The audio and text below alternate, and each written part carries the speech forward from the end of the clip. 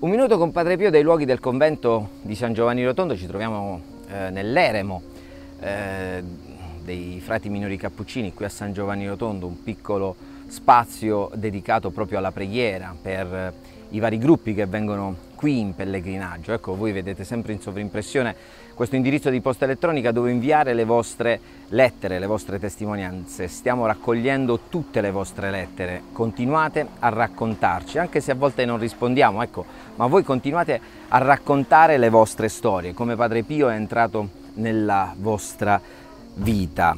Ehm, la marchesa di Sant'Elia, Maria Francesca Starabba, nata mh, mm, a Arezzo, aveva una figlia, Maruzza, eh, che accusava disturbi al cuore. Il medico di famiglia a Palermo le consigliò una visita specialistica da un noto cardiologo romano. Eh, questi, dopo un esame accurato, diagnosticò un solfio al cuore. Per questo, secondo l'illustre clinico, la ragazza non avrebbe potuto sposarsi né tantomeno avere dei figli.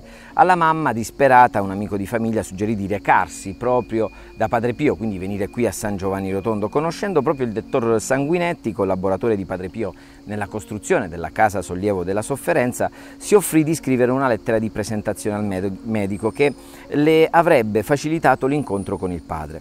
Accettò l'offerta di aiuto la signora Starabba e partì alla volta del Gargano. Arrivata davanti al convento dei Cappuccini, senza mettersi alla ricerca di, di, nessuno, entrò nella chiesetta piccola, nella chiesetta antica, mentre Padre Pio stava confessando. Si confuse tra la folla posta sul passaggio che Padre Pio faceva per rientrare in eh, convento e quando Padre Pio ecco, uscì dal confessionale eh, lei sentì le suppliche di tante eh, persone, in modo particolare tante mamme, eh, che rivolgevano a, a Padre Pio eh, perché eh, appunto per tutti i loro affanni, malanni, le loro paure, le loro richieste, le loro richieste di preghiera eh, e lei non se la sentì eh, di rivolgere anche lei un grido ecco, d'aiuto, ma in cuor suo cominciò a pregare e chiedere l'intercessione per la figlia. Vide allora così Padre Pio che ehm, si voltò verso di lei e con un cenno della mano la chiamava.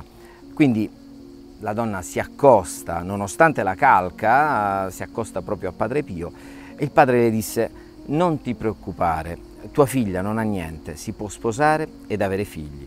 La figlia si sposò ed ebbe dei figli, come aveva detto Padre Pio.